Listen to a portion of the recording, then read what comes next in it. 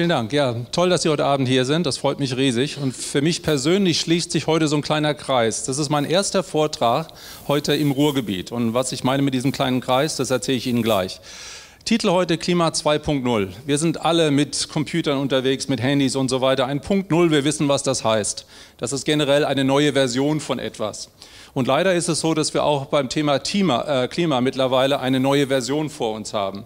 Wir leben nicht mehr in unserem Urklima, in Klima 1.0, das Klima, was uns hat groß werden lassen als Menschheit.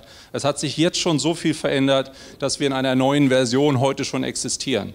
Und was wir unbedingt vermeiden müssen, ist in Klima 3.0 abzurutschen. Das klingt jetzt sehr abstrakt mit diesen Zahlen, aber ich werde Ihnen gleich mal zeigen, was diese verschiedenen Stufen des Klimawandels für uns theoretisch eigentlich bedeuten können. Dieses Thema ist unfassbar dynamisch. Ich bin jetzt seit neun Monaten mit nichts anderem mehr beschäftigt ich war in grauer Vorzeit mal Meeresbiologe. Ich habe das jetzt mittlerweile wirklich auf Eis gelegt, weil nichts anderes mehr für mich Sinn macht als jetzt die Klimakommunikation.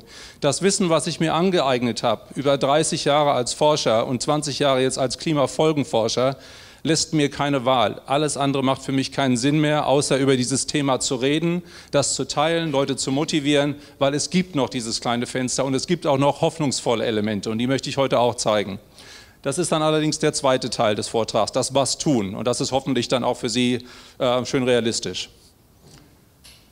Als Hintergrund, ähm, ich habe in meinem Leben unfassbar viel Glück gehabt schon, ganz, ganz oft. Als kleiner Hepper so, als Teenager so mit 15, 16, wo man nach Idolen sucht, nach Anleitung sucht, da habe ich im deutschen Fernsehen immer wieder geniale Sachen gesehen nämlich Naturdokumentation. Äh, Werner Cimek war mit dabei, Heinz Sielmann, aber auch diese zwei Herren, die dann einmal ja, im Monat vielleicht auf dem Bildschirm waren und sie mussten da sein um 20.15 Uhr. Wenn sie es verpasst hatten, Pech, dann war es das halt. Ja, einen Monat warten müssen, keine Mediathek, kein gar nichts, sie mussten da sein. Und das habe ich immer gemacht und habe mich daran wirklich auch aufgebaut und fand das so faszinierend. David Attenborough ist einer dieser Herren. Er ist mittlerweile 93 Jahre alt, immer noch aktiv, ist einer der Naturfilmer überhaupt. Er hat immer wieder neue Dimensionen in die Filmerei, in Naturdokumentation reingebracht. Und er arbeitet seit über 60 Jahren für die BBC, die British Broadcasting Corporation in, in England. Fantastischer Mann. Aber am allermeisten Einfluss auf mich hatte dieser Herr hier, Jacques Cousteau. Und das hat er deswegen gemacht, weil er war der Erfinder des, des Unterwasser, der Unterwasserlunge. Also die, die Tauchgeräte hat er mit erfunden. Und er war auch einer der allerersten, die es geschafft haben, dann auch Fotografie und Videografie unter Wasser durchzuführen. Das sind jetzt nicht Bilder von Jacques Cousteau, das sind Fotos, die ich gemacht habe. Das ist ein bisschen höher auflösend, ein bisschen digitaler. Aber Jacques Cousteau hat schon in den 60er Jahren die ersten Unterwasserbilder gezeigt und eben auch von Korallenriffen, Korallenriffe im Roten Meer damals ganz besonders. Und da war es um mich geschehen. Wie ich diese Vielfalt sah, die Farben und das alles, da habe ich gedacht, boah, das willst du auch machen. Und wie man dann so ist mit 16, dann hat man Träume und denkt, so einer will ich auch werden, will auch so ein Forscher werden, will auch mit Schiffen über die Welt fahren und Meere studieren. Tatsächlich habe ich dann nach kurzen Umwegen äh, mit 23 diesen Traum wahrgemacht und bin dann wirklich nach Australien gegangen und habe Meeresbiologie studiert und bin an die beste Uni für Korallenriffökologie gegangen. Die war in Townsville, das ist in Queensland oben an der Nordostküste Australiens. Da habe ich dann mein, meine ersten Studiengänge gemacht und habe dann wieder richtig Glück gehabt und habe einen Job bekommen bei der Meeresnationalparksverwaltung für das große Barriereriff. Direkt aus der Uni raus, direkt den ersten Job reingelaufen, durfte dann auch in Australien bleiben dadurch, dass ich diesen Jobangebot hatte, war genial. Und mein erstes Studienobjekt war diese komische Kreatur. Das ist der Donnenkronenseestern. Das ist ein Fressfeind der Korallen. Und damals wurde dieser Seestern als die weltweit größte Bedrohung für Korallenriffe angesehen. Das war die größte Bedrohung, weil es nämlich manchmal sogenannte Outbreaks davon gibt, wo manchmal Zehntausende, manchmal Hunderttausende von diesen Seesternen an einem Riff auftauchen und innerhalb von wenigen Monaten das Riff leer fressen können. Das ist damals passiert und wie gesagt, da war ein riesiger Forschungsfokus war auf diesem, auf diesem Tier. Das änderte sich aber dann ein bisschen später. Ökologie ist eine dieser Elemente der Wissenschaft überhaupt. Ich war also in Wissenschaft drin, ich war in Forschung drin und Wissen, Wissenschaft schafft Wissen, das ist der, der Fokus. Aber es hat manchmal ganz merkwürdige Zusammenhänge, die die Ökologie freilegt. Beziehungen zwischen physikalischen Systemen, biologischen Systemen, Chemie, Physik, all sowas. Und leider kriegen sie auch davon heute Abend eine gute Menge ab. Auch da ist jede Menge Physik dabei und ein bisschen Chemie. Aber was ist denn zum Beispiel der Zusammenhang zwischen Kanarienvögeln, Korallenriffen und Klima? Ist jetzt vielleicht intuitiv nicht unbedingt so offensichtlich, was das ist, aber da ist tatsächlich was, was die beiden verbindet. Und hier schließt sich für mich jetzt der Kreis mit dem Ruhrgebiet. Das Ruhrgebiet als ehemalige Kohleförderungsstätte war ganz, ganz wichtig auch schon. Ähm, Beispiele hier, Kohlenminen in Australien, auch da wurde dasselbe Prinzip angewandt, nämlich dass jemand Kanarienvögel, die Minenarbeit, die Kanarienvögel mit in die Minen runtergenommen haben, in kleinen Käfigen, die dann auf einer Stange saßen. Da war es jetzt so, wenn der Kanarienvogel auf einmal ohnmächtig von der Stange fiel, dann wussten die Minenarbeiter, oh oh, hier stimmt was nicht, hier sind Gase, die sind auch für mich schädlich, nämlich Kohlendioxid, Kohlenmonoxid. Die äh, elegante Version dieser Käfige war dann die mit dem kleinen Sauerstofftank oben dran. Das war gut, weil da konnte man den Kanarienvogel wieder zum Leben erwecken, aus seiner Ohnmacht befreien und konnte sich zusammen rechtzeitig aus dem Schacht rausziehen. Aber die Funktion des Kanarienvogels war ein Warnsignal. Es war ein Wächter für den, für den Minenarbeiter. Das war seine Überlebensgarantie. Und Korallenriffe heute sind was Ähnliches. Sie sind auch ein Wächter, sie sind ein Warnsignal für uns. Wie gesagt, ich habe vor über 30 Jahren angefangen, diese Korallenriffe zu studieren. Und die ersten zehn Jahre sah das alles noch aus, ja, mein Seestern, da kann ich mich darauf konzentrieren, wir werden Riffe immer haben, alles nicht so schlimm. Aber dann vor ungefähr 20 Jahren änderte sich was, und zwar ganz massivst. Ich, ich bekam damals bei der Meeresnationalparksverwaltung einen Anruf aus den Seychellen. Und die sagten, ah, wir haben hier Zehntausende von deinem Seestern. War nicht mein Seestern, aber es waren Zehntausende da. Und da ich einer der Experten dafür war, wurde ich dann rübergebeten auf die Seychellen. Dachte ich, okay, können wir machen, können wir denen ein bisschen beratende Funktion da, äh, darstellen. Kam an, bereitete mich vor auf meinen ersten Tauchgang, spring ins Wasser rein und dachte, boah, was ist das denn? 34 Grad Wassertemperatur, bis runter auf 20 Meter Tiefe. Die Luft war 28, das Wasser war 34 Grad warm. Und als ich nach meinen üblicherweise schönen bunten Korallen schauen wollte, da sah ich nur sowas. Dunkelgrau, braune Korallenhaufen, hier und da mal noch so einen weißen Dom zwischendrin irgendwo, aber die Farben waren weg, die Korallen waren zum Großteil abgestorben. Was da passierte ist, das war das erste globale Korallenbleichen, durch Temperaturstress ausgelöst. Die Korallen sind ein symbiotisches Wesen. Da ist einmal das Tier selber, der Polyp, der hat aber auch unter seiner Haut hat er Algenzellen. Und diese Algenzellen über Photosynthese bereiten bis zu 95 Prozent der Nahrungsquelle äh, für diesen Korallenpolypen auf. Das Dumme ist, bei ungefähr 31 Grad haben die Algenzellen einen richtigen Stress. Und dieser Stress sorgt dafür, dass sie Giftstoffe produzieren. Diese Giftstoffe gehen in das Gewebe der Koralle über und die Koralle merkt, oh, oh, hier stimmt was nicht und schmeißt diese Algenzellen aktiv raus. Sie spuckt die wirklich aus. Und was sie auf einmal nur noch übrig haben, ist eine kleine dünne Korallenhaut sozusagen, das Gewebe des Polypen. Und darunter sehen Sie das weiße Skelett der Koralle. Aber die Farbe ist weg, weil die symbiotischen Algen verschwunden sind durch den Temperaturstress. Wenn Ihnen jemand von heute auf morgen 95 Prozent Ihrer Nahrungsquelle wegnimmt, dann haben Sie ein Problem. Ja? Und höchstwahrscheinlich wird man irgendwann mal verhungern. Und genau das passiert mit Korallen. Wenn die innerhalb von acht Tagen diesen Temperaturstress nicht irgendwie reduzieren können, dadurch, dass halt kühleres Wasser reinkommt, dann verhungern die Korallen und sterben ab. Das ist der Prozess des Korallenbleichens. Und als ich auf den Seychellen war, da ist einige Wochen vorher, war schon der Haupttemperaturstress. 95 Prozent der Korallen starben ab innerhalb von wenigen Wochen. Also die ganzen Riffe, da war so gut wie nichts mehr. Da waren hier und da nochmal eine kleine Kolonie. Das war absolut dramatisch und es war Teil des weltweit ersten globalen Korallenbleiche-Events, der da ablief. Überall war es, bis auf 30 Meter Tiefe hatten wir diese Temperaturen. Das war ungefähr 2, 3 Grad über dem, was diese Riffe normalerweise erleben im Sommer. Die hören so bei 30 normal auf, 31 maximal. Das heißt, wenige Grad drüber, ein, zwei Grad über dem, wie es sein soll, kann ausreichen, um ein ganzes Ökosystem komplett auszumerzen. Das müssen wir uns mal merken hier. Wir haben generell alle physiologische Obergrenzen. Wir haben eine Wohlfühlzone, wir haben eine Zone, in der wir funktionieren. Bei uns ist es bei 42 Grad plus, ist es aus bei uns. Die Proteine zersetzen sich bei hohem Fieber. Wir haben eine physiologische Obergrenze. Und wir haben eine Wohlfühlzone bei 36, 37. Das trifft generell auf alle anderen Arten auch auch zu. Sie haben auch eine physiologische Obergrenze. Das müssen wir uns jetzt mal merken. Das Interessante, da hatte ich wieder Glück, das ist jetzt das dritte Mal richtig dickfett Glück, als ich da tauchte und die ersten Bestandsaufnahmen machte dieser Korallenbleiche, war jemand von der Weltbank mit dabei, der auf den Seychellen ein anderes Projekt ins Leben rufen wollte. Mit dem bin ich dann tauchen gegangen und konnte ihm sagen, was da gerade passierte und konnte ihm sagen, das ist einzigartig, das hatten wir noch nie, wir wissen gar nicht, was jetzt folgen wird.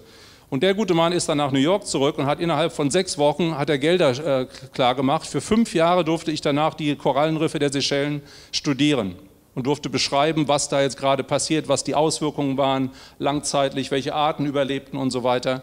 Das war absolut genial. Und das wurde dann meine Doktorarbeit, diese Arbeit, dieser, ja, diese Folgenforschung an den Korallenriffen. Der gute Mann hier war mein Professor damals an der Uni in Brisbane.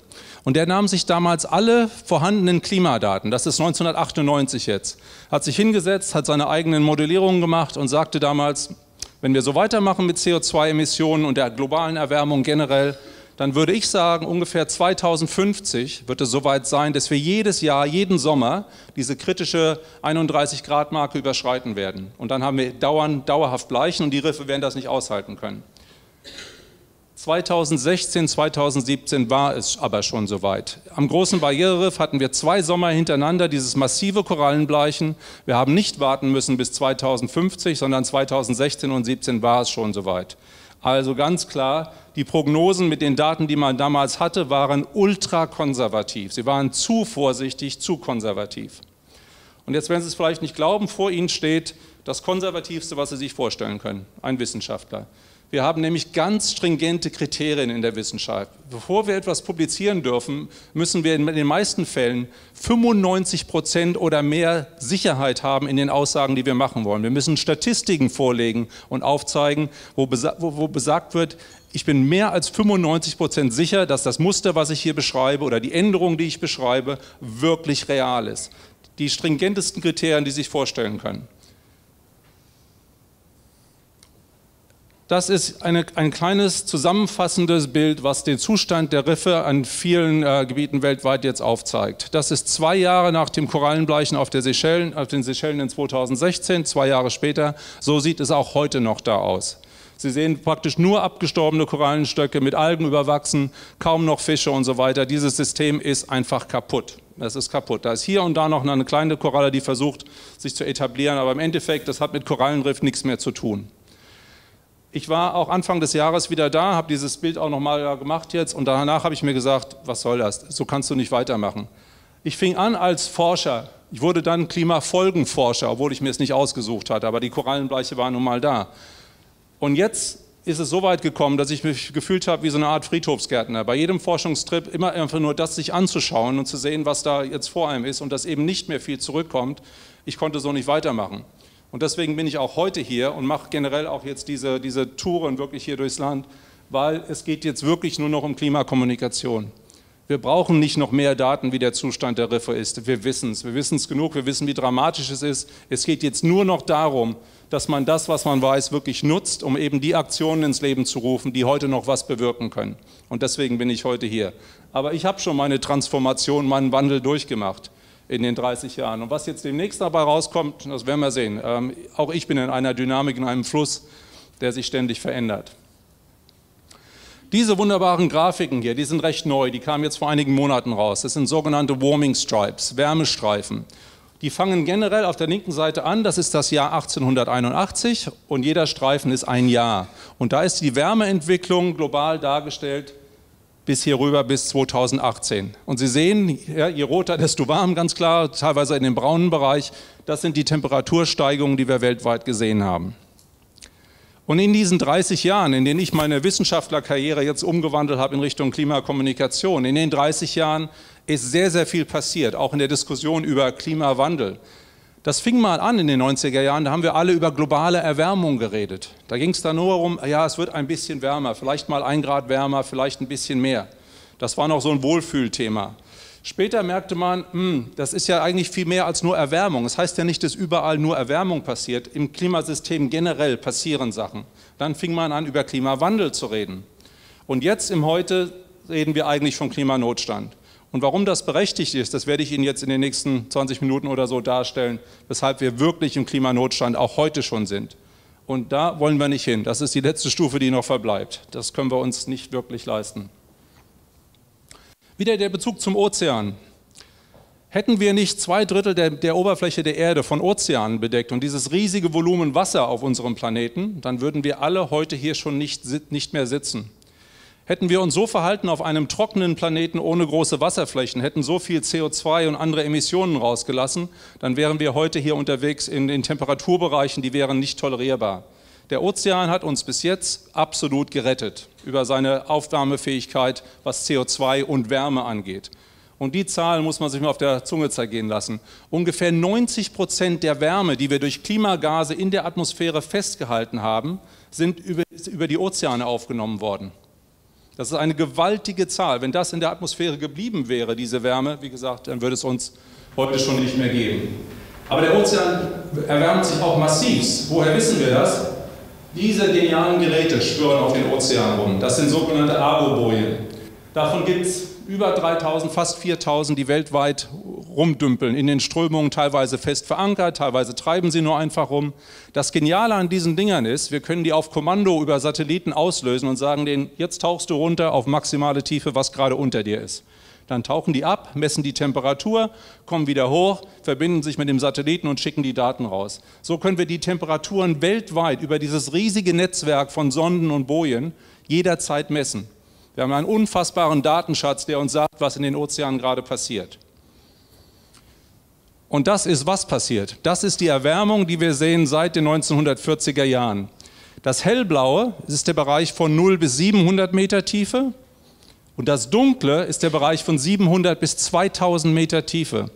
Und Sie sehen, dass selbst die tiefen Bereiche des Ozeans, die niemals Sonneneinstrahlung haben, trotzdem auch massiv an Wärme zunehmen. Da ist es eben diese Speicherkapazität des Wassers, der aus der Atmosphäre so viel Energie aufgenommen hat. Und relativ gesehen ist der Anstieg der Temperaturen in den tiefen Zonen sogar größer als der in den Flachwasserzonen. Das ist das, was wir wissen von diesen Zusammenhängen und den ganzen Messdaten. CO2, wissen wir, ist der, der Auslöser für diese Erwärmung. Und da sehen wir auch über die letzten ja, 50, 60 Jahre, wie immer mehr CO2 reingepumpt wird in die Atmosphäre. Wir messen das als ppm, Parts per Million. Und hier sehen Sie Linien, die zeigen, wie der durchschnittliche Zuwachs an ppm in der Atmosphäre in einer 10-Jahre-Periode ist. Und Sie sehen, dass in den meisten 10-Jahre-Perioden das immer weiter nach oben geht. Und das ist unsere aktuelle Dekade. Wir legen immer mehr zu, es kommt immer noch mehr CO2 rein und die Konzentrationen steigen schneller an, als sie es jemals getan haben. Und diese Grafik ist absolut faszinierend. Wer die versteht, der versteht, wie auch das Klimasystem Erde funktioniert. Das sind CO2-Werte gemessen an vier verschiedenen Stationen. Wir haben in Blau Barrow, das ist in Alaska, also ganz nah am Nordpol. Dann haben wir in Rot Mauna Loa, das ist auf Hawaii. Immer noch Nordhalbkugel, aber ein bisschen näher so Richtung Äquator. Dann haben wir in Grün American Samoa, das ist genau auf dem Äquator und wir haben in Gelb eine Station in der Antarktis. Also wir gehen über, die, über den gesamten Planeten hier rüber, von Nord nach Süden. Und wenn Sie die CO2-Messungen dieser vier Stationen sich anschauen, dann sehen Sie, dass die Muster sehr, sehr unterschiedlich sind. Das Blaue in Kanada geht hoch und runter, extreme Ausschläge nach oben und nach unten. Die unteren, die niedrigen Messwerte für CO2, das ist der Sommer. Das ist, wenn auf der Nordhalbkugel die Vegetation da ist, wenn wir Blätter haben, das Wachstum der Pflanzen ist da, da werden massive Mengen CO2 aus der Atmosphäre rausgeholt und wir haben die niedrigsten Werte des Jahres mitten im Sommer. Die hohen Werte, das sind die Winterwerte, wenn eben kein großartige, großartiges Wachstum in der Vegetation ist. Dann haben wir die hohen Werte.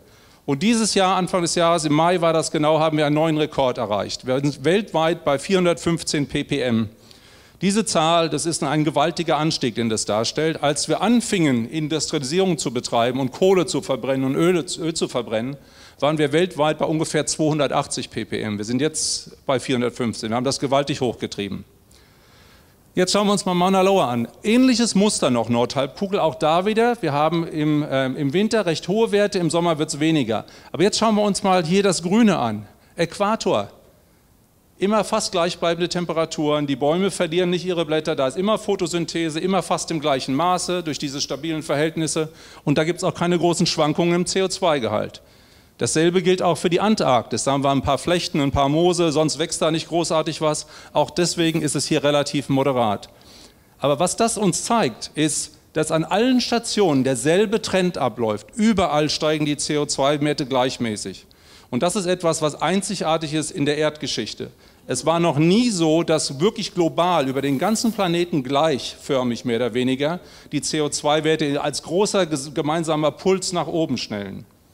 Ja, wir hatten früher auch schon Klimaveränderungen. Ja, wir hatten kleine Eiszeiten. Wir hatten äh, im Mittelalter irgendwelche Warmperioden. Das waren immer wesentlich lokaler oder regionale Ereignisse, die waren nie wirklich global.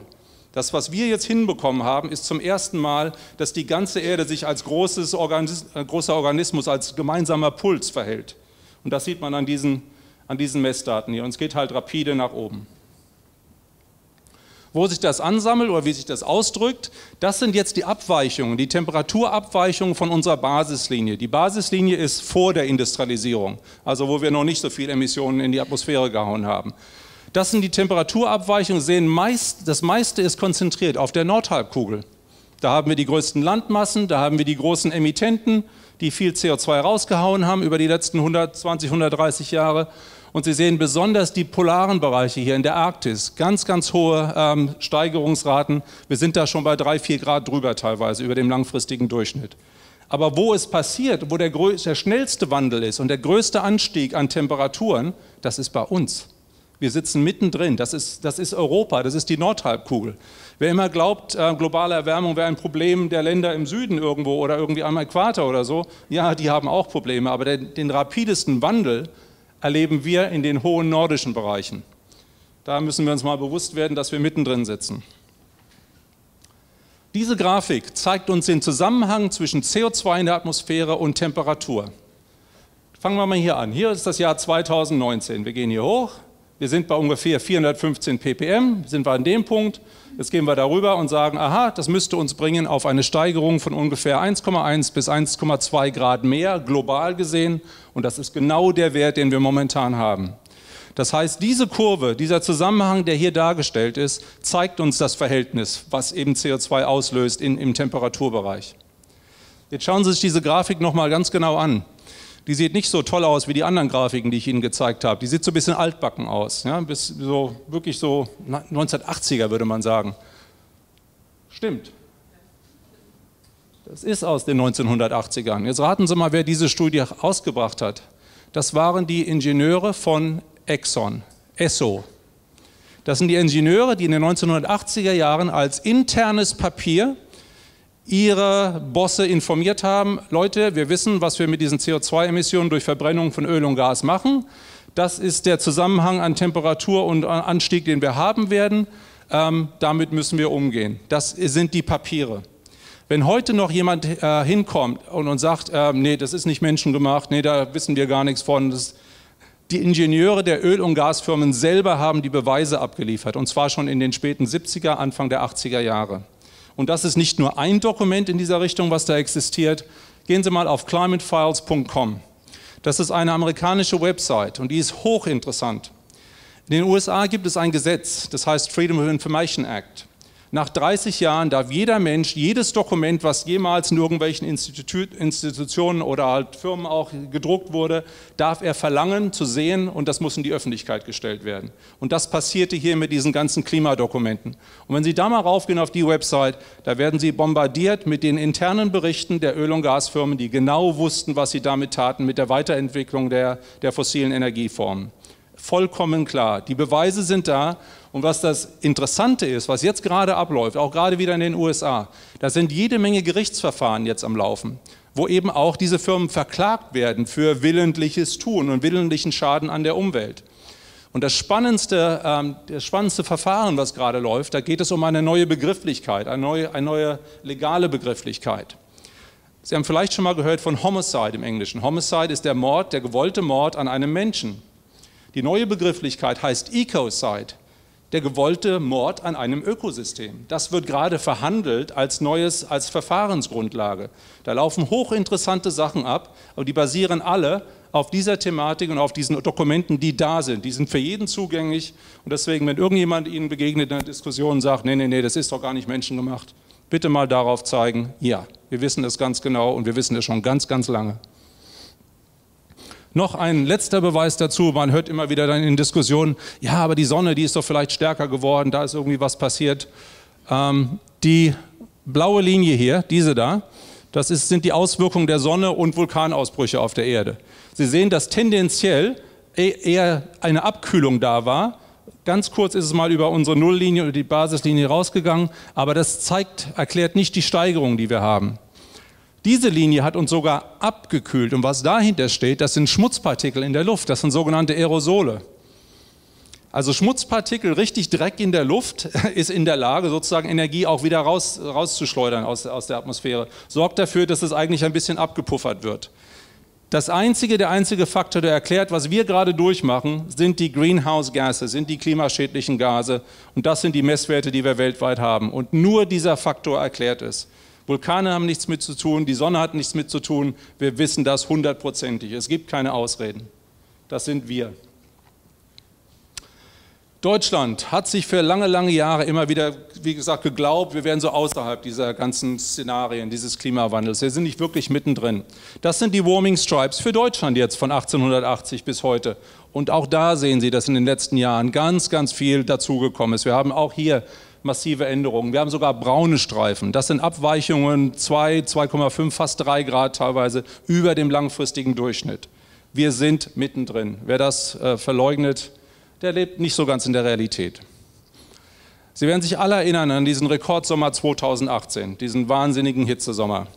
Ich brauche jetzt hier nicht durchgehen durch diese ganzen Details. Wir haben alle erlebt, wie das war. Wir haben sechs Wochen unter einer Hitzeglocke gesessen, alles ist verdörrt und so weiter. Unfassbare Temperaturen. Aber zwei Punkte möchte ich doch hervorheben, und zwar gerade was die Ernteausfälle betrifft. Europaweit war diese Hitzewelle, das war nicht nur ein deutsches Phänomen. Und in ganz Europa waren die Ernteausfälle bei Getreide allein in der Höhe von ungefähr 16 Millionen Tonnen, die nicht geerntet werden konnten letztes Jahr. Und weltweit gesehen, das sagt die, die äh, Vereinten Nationen, die, die Agricultural Society, die sagen, dass das erste Jahr war, in der die Menschheit es nicht geschafft hat, über die Ernte an Getreide den eigenen Bedarf auch zu decken. Wir haben das nur geschafft, auszugleichen über Silobestände. Also 2018 war wirklich weltweit ein extrem, extremes Jahr. Hier sind ein paar Temperaturrekorde, die man sich auch mal genauer anschauen sollte. In Afrika, in Algerien, ging es hoch bis auf 51,3 Grad.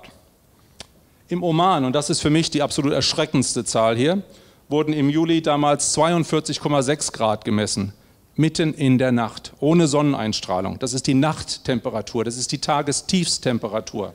42,6 Grad. Das ist hohes Fieber. Wer da draußen war in sowas, der hat es eigentlich ohne Hilfe, ohne künstliche Kühlung eigentlich nicht überleben können. Das ist eine Nachttemperatur. Solche Bereiche haben wir schon teilweise erreicht.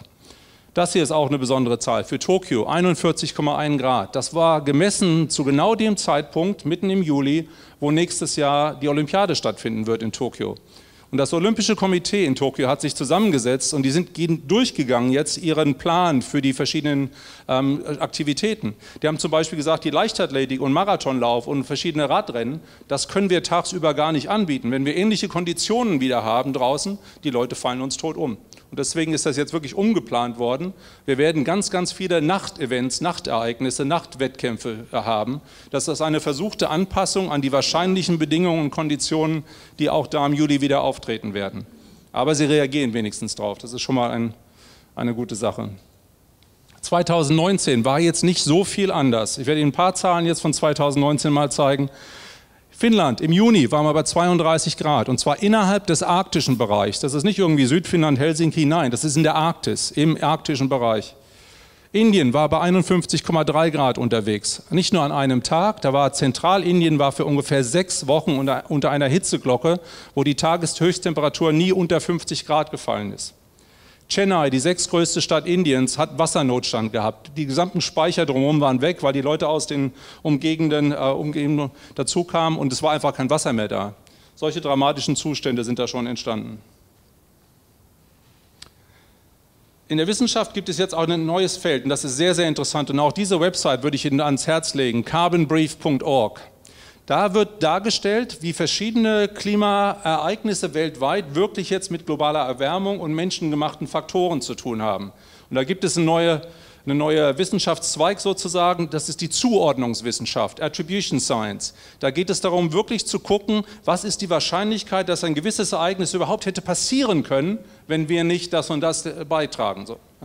Und das ist wunderbar zu sehen, wenn Sie auf diese roten äh, Knöpfe drücken, dann öffnen sich sogar die Studien. Da zeigt man Ihnen, wo die Beweise dafür liegen, dass das menschengemacht war oder wir es wesentlich wahrscheinlicher gemacht haben, dass das passiert.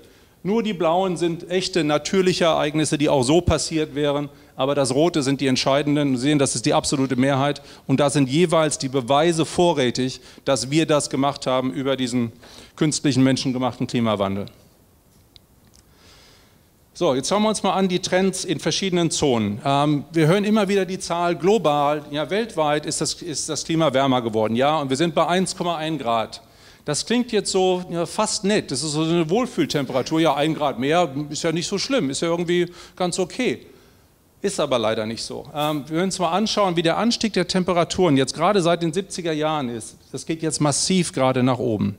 Und das Entscheidende hier ist, die Anstiegsrate ist so, so schnell, das ist typischerweise mindestens 0,2 bis 0,4 Grad pro zehn Jahre, dass ein Rekordsommer, zum Beispiel hier in diesem Jahr, ist ein paar Jahre später die absolute Norm, der absolute Durchschnitt. Dadurch, dass die Steigerungsrate so massiv ist und die schwächt sich auch nicht ab.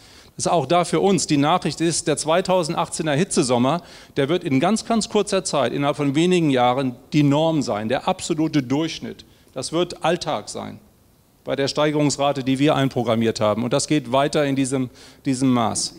Das ist die globale Zahl, 1,1. Das ist Europa in 2018. In Europa waren wir in diesem Sommer letzten Jahres zweieinhalb Grad über dem langfristigen Durchschnitt. Wir waren also mehr als doppelt, der, doppelt so hoch in der Erwärmung ähm, als der weltweite und das ist ein Beispiel aus Deutschland, Potsdam, vom Potsdamer Klimaforschungsinstitut. Bei deren Messstation, die waren teilweise vier Grad über dem langfristigen Durchschnitt in 2018. Also hier ist der Beweis, wir sind wirklich mitten, mittendrin. Und die interessante Zahl hier ist, dass diese Temperaturen seit mindestens 120.000 Jahren auf dem Planeten nicht mehr da waren.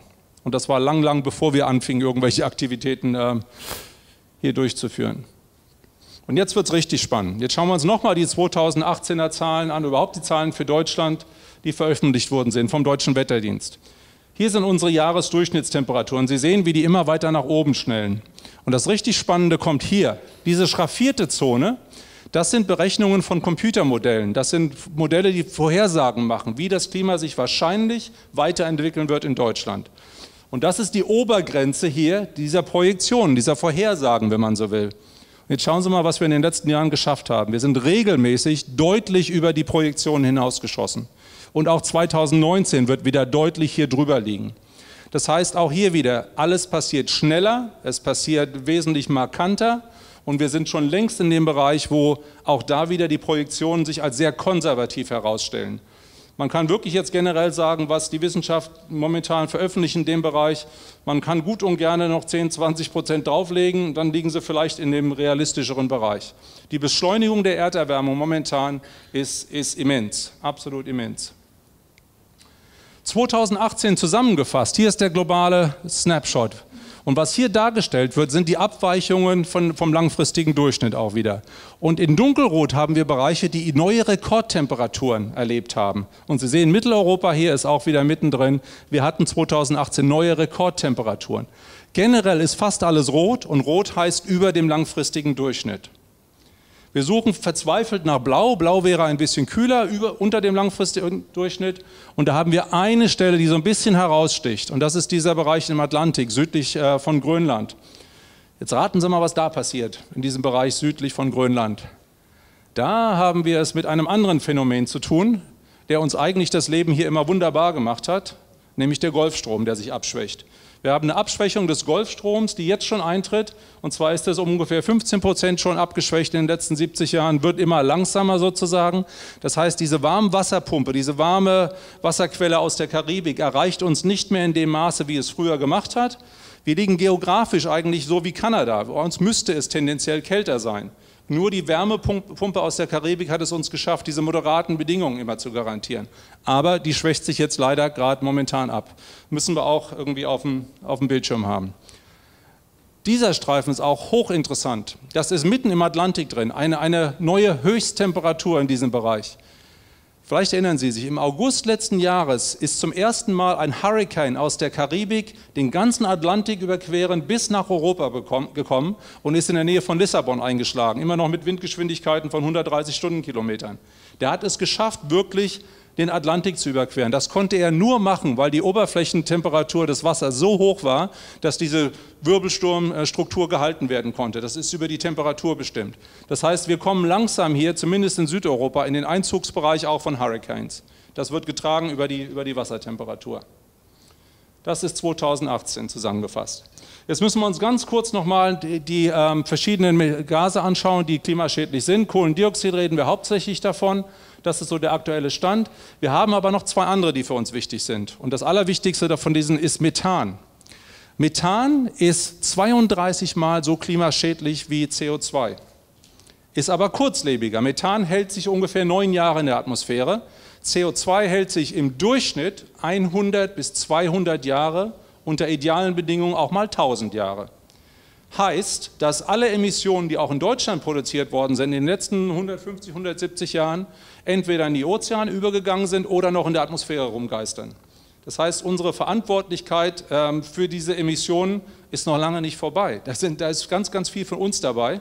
Deutschland ist nach wie vor, wenn wir alle Emissionen, die jemals emittiert wurden, zusammennehmen, auf Platz 4 weltweit. Wir haben einen ganz, ganz großen Anteil an diesem, an diesem Budget. Sollten wir uns mal im Hinterkopf behalten. Das sieht jetzt sehr technisch aus, ist aber immens wichtig. Ein paar Sachen, die muss ich hier hervorheben. Das ist der Zeitraum, den wir brauchen, um 400 Milliarden Tonnen in die Atmosphäre reinzuballern an CO2. Früher hat das mal ganz, ganz lange gedauert, nämlich so viel, hunderte von Jahren teilweise. Und jetzt, wenn wir jetzt hier schauen, was wir in den letzten paar Jahrzehnten machen, es wird immer, immer schneller. Wir beschleunigen die CO2-Emissionen derartig, dass wir in den letzten zwei Jahrzehnten ungefähr die Hälfte aller Emissionen, die wir jemals rausgelassen haben, in den letzten 20, paar 20 Jahren rausgeballert haben. Das heißt, es ist wirklich momentan, das ist eine Zuwachsrate, die ist absolut unfassbar. Was wir in den 120 Jahren davor gemacht haben, ist fast trivial sozusagen. Aber wir, sind, wir beschleunigen das Ganze immer noch. Wir sind bei neuen Rekordwerten. Der UN-Weltklimarat, der auch dafür gesorgt hat, dass bei dem Pariser Klimaschutzabkommen 2015 gute Daten vorlagen, an denen man sich, an denen man sich orientieren konnte, die haben Berechnungen gemacht, auch wieder Modellierungen. Und die schauen sich an, was rausgehauen wird an CO2 und, und machen dann verschiedene Szenarien. Und ich möchte Ihnen jetzt ein Szenario mal vorstellen. Dieses nennt sich RCP 8,5. RCP 8,5 heißt Business as usual. Wir machen alle weiter, so wie wir bisher gemacht haben. Wir haben weiter unendliches Wachstum. Jedes Land macht, was es möchte. Und wir werden noch mehr fossile Energien verbrennen, noch mehr Öl fördern. Das ist RCP 8,5. Wenn wir davon ausgehen, Business as usual, dann werden wir auf Emissionen kommen von bis zu 100 Milliarden Tonnen pro Jahr. Das ist die Prognose. Was heißt 100 Tonnen pro, Milliarden Tonnen pro Jahr? Das werden wir gleich mal sehen in einer Modellierung. Jetzt entführe ich Sie mal in die Arktis. Die ist für uns absolut wichtig, absolut entscheidend. Sie haben gesehen vorher bei der Grafik, der arktische Bereich erwärmt sich am aller, aller schnellsten weltweit. Da haben wir die größten Zuwachsraten. Ja, schon drei bis vier Grad plus mittlerweile. Sie schauen bei diesen Grafiken jeweils genau auf den Nordpol. Der Mittelpunkt dieser Scheiben ist der Nordpol. Und in dunkelrot sehen Sie die Abweichungen, die positiven Abweichungen in der Temperatur. Jetzt schauen wir uns nur mal die letzten drei Jahre an, 16, 17, 18. Und auf der Skala hier sehen Sie, dass die Temperaturen 4 bis 5 Grad über dem langfristigen Durchschnitt waren in den polaren Gebieten. Eine andere Art, das darzustellen, und ich möchte einen Monat jetzt hervorheben, wo eine 1 drin ist, das ist immer der, der wärmste Monat ja, überhaupt, der jemals gemessen wurde. Im Mai diesen Jahres, Mai 2019, ich sehe die dicke fette 1 drin, das war der wärmste Monat, der wärmste Mai, der jemals gemessen wurde in der Arktis. Und was hat das für Auswirkungen? Das ist wirklich ein äh, Hammerfoto. Das ging wirklich um die Welt auch. Es wurde von Twitter veröffentlicht auch. Das war ein, äh, ein Forscherteam, ein dänisches Forscherteam.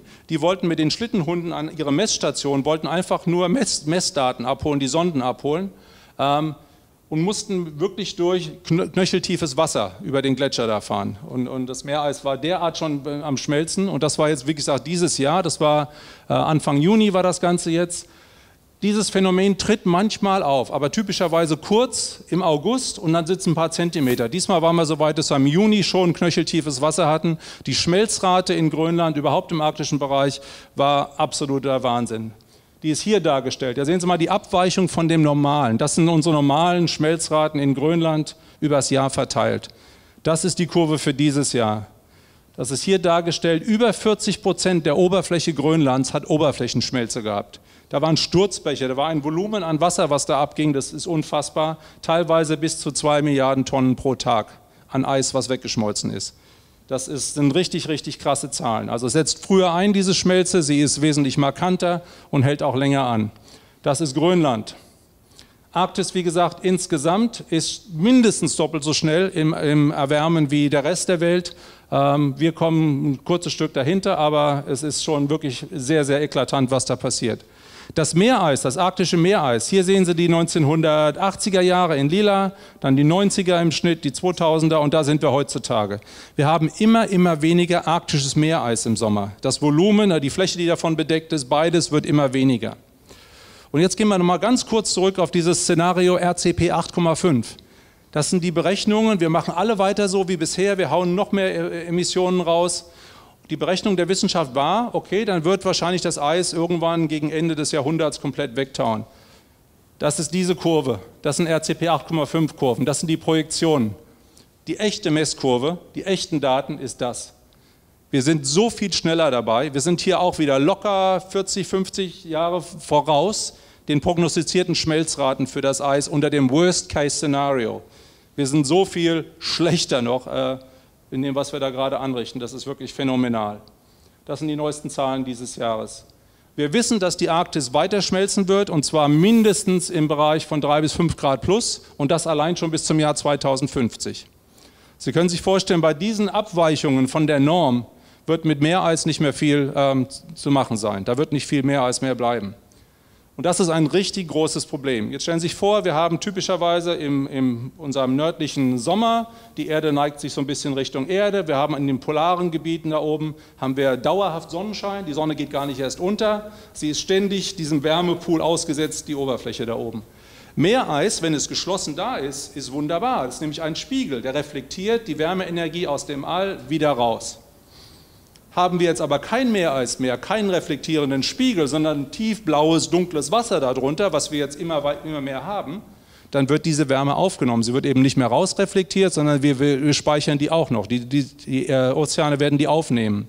Und die Prognosen sind, dass wenn das Meereis im ähm, arktischen Bereich komplett weggetaut ist, und bei der momentanen Rate wird es so sein, die Sommer so ab 2025, spätestens 2030 werden komplett eisfrei sein dann haben wir da oben eine zusätzliche Wärmequelle und nicht mehr das was wegreflektiert, sondern wir nehmen nochmal geschätzt 25 Prozent mehr Wärmeenergie auf über diesen Bereich. Das ist der sogenannte Albedo-Effekt, den haben Sie vielleicht auch schon mal bemerkt selber. Wenn Sie im Sommer hier bei Hitze mit einem schwarzen T-Shirt rumlaufen, ist Ihnen nochmal heißer. Wenn Sie ein weißes anhaben, was zurückreflektiert, ist es gefühlt um einiges kühler. So, und was ist jetzt das Problem damit? Wir haben diese, dieses fehlende Eis jetzt in der nordpolaren Region. Das wird immer dünner, das äh, wird gar kein ewiges, kein langes Eis mehr sowieso und wir werden in einigen Jahren wahrscheinlich gar keins mehr da haben. Das hat eine weitere Auswirkung, die ist für uns jetzt extrem relevant. In der Arktis, unter diesen Voraussetzungen, haben wir eine neue Wetterschmiede, eine Klimaschmiede für uns. Der Normalzustand, wenn alles gut ist, haben wir geschlossenes Eis im Sommer da oben oder auch im Winter und wir haben eine sogenannte, wir haben ein Tiefdruckgebiet darüber. Dieses Tiefdruckgebiet sitzt da relativ prägnant. Wir haben wärmere Luft natürlich Richtung Äquator und diese beiden Luftmassen, das Warme und das Kalte, wird praktisch voneinander ferngehalten über hohe Winde, den Jetstream. Der Jetstream ist wie wenn Sie so einen Kreisel anpumpen, dann wird sich das praktisch immer wieder drehen. Sie haben einen perfekten Kreisel. Was wir jetzt machen, ist durch die fehlende ähm, Kälte und dadurch das fehlende Tiefdruckgebiet am, im nordpolaren Bereich, bricht das System immer weiter zusammen. Wir bekommen Einbuchtungen in den Jetstream. Der fängt jetzt an, wirklich sich bis ins polare Gebiet auszudehnen. Wir kriegen diese, das ist so eine Art Omega-Formation an diesen Knicken, und das ist wirklich so, wo sich das einknickt, sind die Winde nicht mehr so schnell, wie sie eigentlich sein könnten. Das heißt, das Ganze fängt an zu stagnieren, sitzt da einfach fest und bewegt sich nicht viel weiter. Und das war unser Hitzesommer 2018. Da haben wir für sechs Wochen innerhalb eines dieser Omegas festgesessen, was sich einfach nicht vom Platz bewegen konnte, weil die Jetstream-Winde nicht stark genug waren. Aber das, dieses ganze Phänomen entsteht nur dadurch, dass wir in der Arktis das Eis zerschossen haben, dass da nichts mehr da ist, was für unser, unser Tiefdruckgebiet sorgt. Das ist das, was jetzt momentan da oben abläuft. Das passiert übrigens nicht nur ähm, mal im Sommer, das kann uns jetzt auch im Winter passieren. Sie erinnern sich Anfang des Jahres, Rekordschneefälle in Österreich, in Bayern. Alle dachten, ah, super, Winter, ganz normal. Also wo ist da globale Erwärmung? Ja, auch das war wieder diese polare Vortex, die nicht so funktioniert, wie sie eigentlich funktionieren sollte.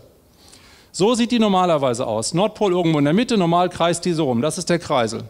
Was jetzt Anfang des Jahres passierte, durch Wärmeeinfluss, ist die in drei kleine Teile zerfallen. Wir hatten drei Mini-Kreisel und diese Mini-Kreisel halten nicht mehr zusammen, sondern die gehen ihren eigenen Weg. Und das sieht man hier. Das ist die kalte Luft, die vom äh, Nordpolarmeer runterkam, über Russland runter. Hier ist Österreich, da ist Deutschland. Das brachte uns diese riesigen Schneemengen. Da kam die ganze kalte Luft runter. Im Austausch dafür muss andere Luft in Richtung polare Gebiete, und das ist hier angezeigt, bang, das ist die warme Luft, die nach oben schoss. Und wir hatten in Grönland Temperaturen ungefähr 16 Grad über den Temperaturen, die sie hätten sein sollen für diese Jahreszeit. Das heißt, dieser gefühlt schöne Winter mit dem schönen Schnee, gleichzeitig ist da oben die absolute Katastrophe gewesen. Wir haben einen, einen Wärmeeinfluss gehabt, der wirklich ähm, so krass war. Wie gesagt, hier sehen Sie 16 Grad oder so, äh, die Abweichung davon. Und diese Muster, dieser, dieses zerbrechende Konstrukt der polaren Vortex und diese kleinen Omega-Formationen, das wird für uns die neue Norm. Wir werden immer wieder unter diesen äh, Bedingungen zu leiden haben, weil wir einfach nicht mehr dieses wirklich schützende, reflektierende Eis im Nordpolarmeer haben. Das ist für uns fundamental wichtig, aber wir haben es nicht mehr. Was auch passiert, ähm, das ist wieder ein interessantes Thema, ist das der, der Permafrost im, Nord, im äh, Nordpolarbereich. Das ist eine gefrorene, normalerweise tiefgefrorene Eisschicht äh, oder Bodenschicht, die auf einige Meter runtergehen kann. Jetzt schauen Sie sich mal an, wie das aussieht, diese, Polar, diese, diese Permafrostschicht hier. Dunkelbraun oder fast schwarz. Das ist der pure Kohlenstoff. Da sind nämlich die Überreste, die tiefgefrorenen Überreste von fossilen Pflanzen, Tieren und so weiter, die damals direkt in eine Gefriertruhe gelegt wurden und nie, nie auftauten, nie verwesten. Das heißt, der ganze Kohlenstoff ist alles noch drin. Jetzt durch die Oberflächenerwärmung, die wir erleben, tauen die jetzt auf. Wasser kann rein, Sauerstoff kann rein und diese Verwesungsprozesse kommen jetzt in Gang. Und diese Verwesungsprozesse lassen CO2 raus, Kohlendioxid, aber halt auch Methan. Da ist es wieder. Dieses 32 mal klimaschädliche Gas kommt jetzt in großer Menge aus dem auftauenden Permafrost raus. Auch da wieder, was in der Arktis passiert, ist für uns fundamental wichtig. Das wird unser Klima wirklich für die, für die Zukunft bestimmen. Da müssen wir drauf schauen. Hier ist der Trend, der globale Trend für Methan. Sie sehen auch, wie das nach oben schießt. Und auch das sind neue Rekordbereiche. Das hatten wir vorher noch nicht. Und jetzt wird es richtig interessant. Als das Pariser Klimaschutzabkommen 2015 ausgehandelt wurde und man hat versucht zu berechnen, was wir denn alles einsparen müssen an, an Emissionen, die Phase davor für die ganzen Berechnungen war eine Phase relativ stabiler Methanwerte in der, in der Atmosphäre. Da, dadurch ging man davon aus, okay, Methan können wir erstmal ignorieren, das bleibt wahrscheinlich so, wie es ist. Ist aber nicht so. Danach fing es an, rapide nach oben zu schnellen. Das heißt, die Berechnungsgrundlage für Paris ist nicht mehr aktuell, ist nicht mehr relevant. Und was das für uns bedeutet, zeige ich Ihnen ein klein bisschen später. Aber merken Sie sich einfach mal, das ist das zusätzliche Methan.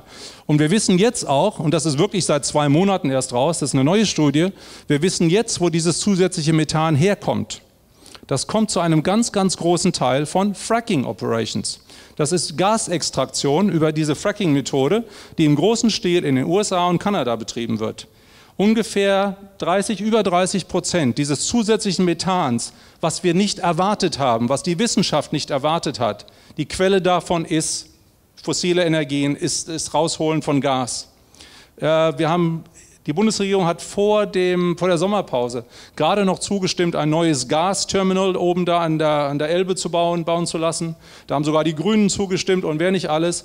Da soll Gas aus den USA, was über Fracking extrahiert wurde, soll in Deutschland dann angelandet werden und hier verbrannt werden. Die Nebenwirkungen sozusagen davon sind ähm, diese zusätzlichen Methanquellen die uns das Leben sehr, sehr schwer machen.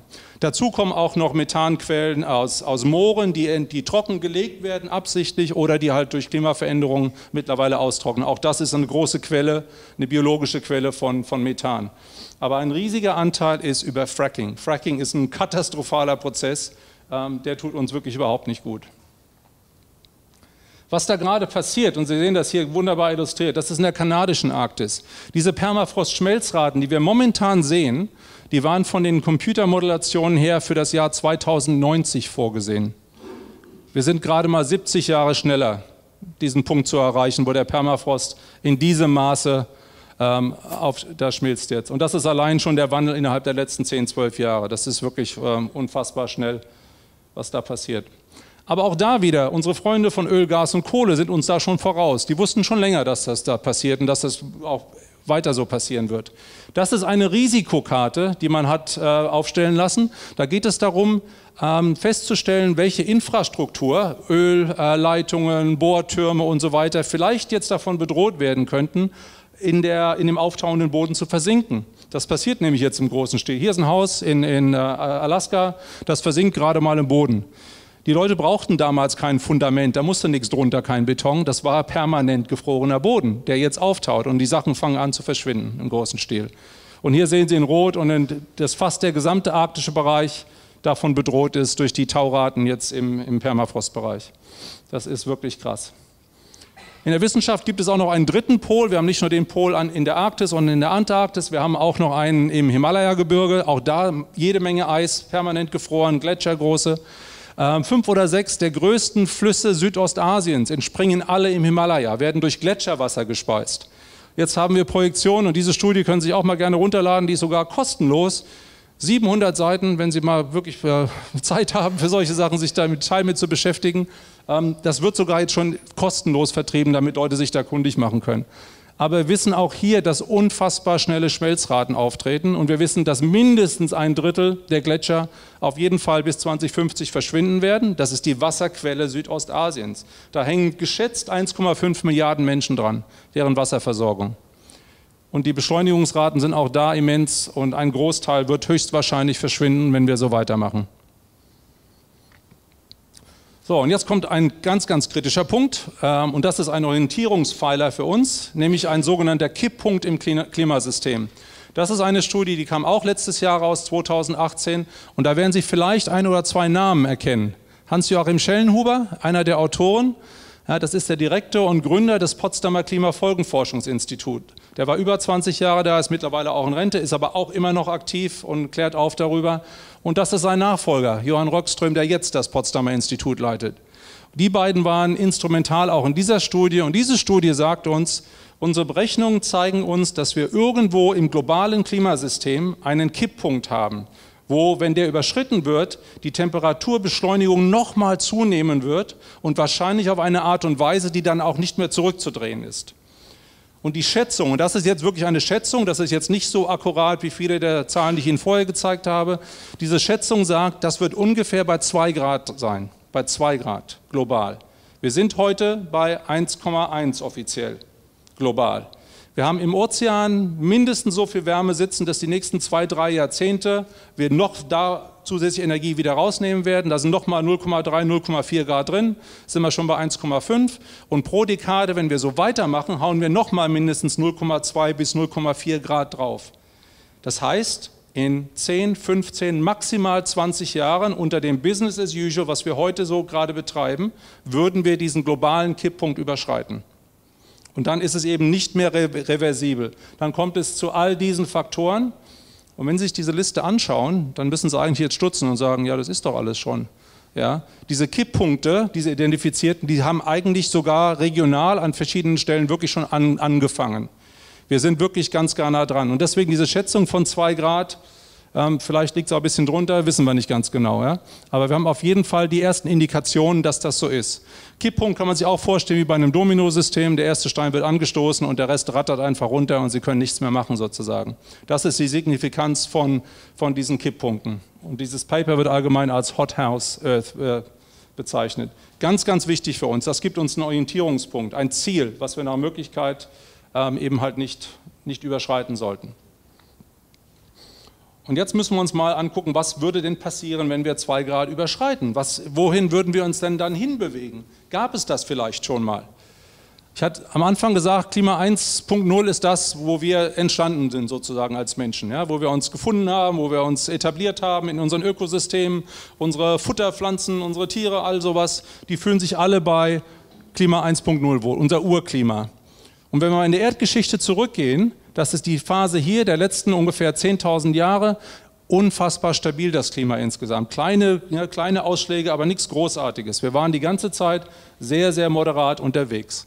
Und es ist kein Zufall, dass in diesem Zeitraum auch die Landwirtschaft und die Zivilisation generell, Städtebau, all das so seinen Anfang und seine, seine Blütezeit hatte. Das ist Klima 1,0. Auch zu bemerken ist, dass solange es Menschen gibt, das ist dieser Bereich hier, wir immer permanent, wir hatten am Südpol und am Nordpol hatten wir Eis. Durchgehendes Eis. Jetzt schauen wir uns an, was wir jetzt gerade machen, in unser Klima 2.0.